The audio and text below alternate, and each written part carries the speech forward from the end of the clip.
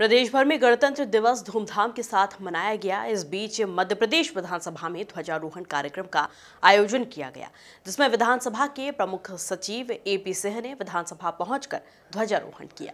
गणतंत्र दिवस के अवसर पर सुबह से ही विधानसभा परिसर में जोश और उल्लास का माहौल देखने को मिला।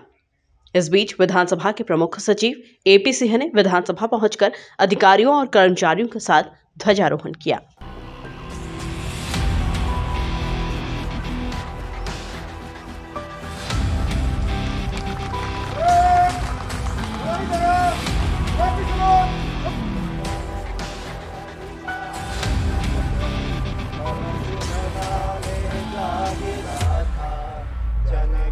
जनगण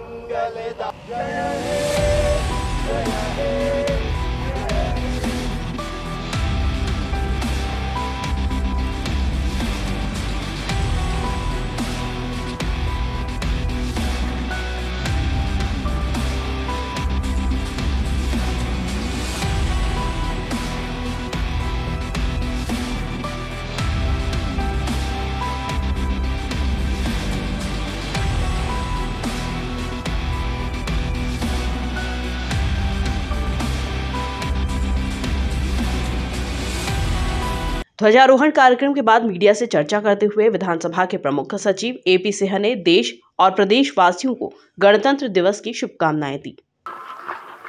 देखिए, राष्ट्र आज तिहत्तरवा गणतंत्र दिवस मना रहा है।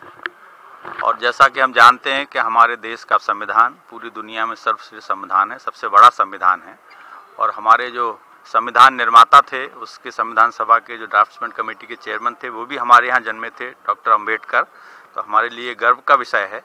और संविधान सभा में भी मध्य प्रदेश के कम से कम 18 से 20 सदस्य उसमें थे, जिसमें हमारे प्रथम मुख्यमंत्री से लेके और सागर के डॉक्टर हरी सिंह गौर और जबलपुर के कई सदस्य थे, जिनका महत्वपूर्ण योगदान संविधान निर्माण में रहा है। तो मध्य प्रदेश के लिए विशेष गौरव का विषय है, पूरे देश के लिए गौरव का विषय है। और इसी संविधान के आधार पर जो आज लागू हुआ था 26 जनवरी को, हमारा देश लोकतंत्र में बहुत मज़बूत हुआ है। हमारे सभी जितने भी शासन प्रणाली के अंग हैं, चाहे विधायिका हो, कार्यपालिका हो और, न्यायपालिका हो, सभी के अधिकार और दायित्व और कर्तव्य उस संविधान में दिए गए हैं, जिसके आधार पर हमारा लोकतंत्र आगे बढ़ा है और हम सभी ने इतनी प्रगति की है और संविधान में अधिकारों के साथ साथ कर्तव्य भी दिए गए हैं। तो हम सब लोग अपने अधिकारों का उपयोग करें और कर्तव्यों का भी ध्यान रखें तो निश्चित तौर पर अपने देश, प्रदेश की प्रगति में योगदान देते रहेंगे। इन्हीं शब्दों के साथ मैं आज इस गणतंत्र दिवस पर आप सभी को, प्रदेशवासियों को, देशवासियों को हार्दिक शुभकामनाएँ देता हूँ। धन्यवाद। इस दौरान बड़ी संख्या में विधानसभा अधिकारियों और कर्मचारियों ने ध्वजारोहण कार्यक्रम में हिस्सा लिया। Bureau report, MP news, Bhopal.